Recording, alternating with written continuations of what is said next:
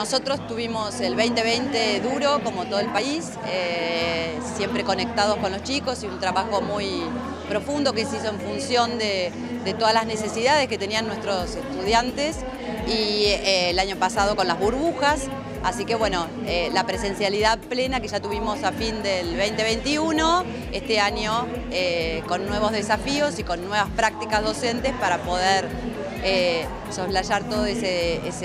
ese ese periodo de 2020-2021.